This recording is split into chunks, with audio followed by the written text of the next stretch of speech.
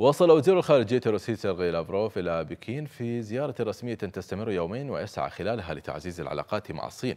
الشريك الدبلوماسي والاقتصادي الرئيسي لبلاده.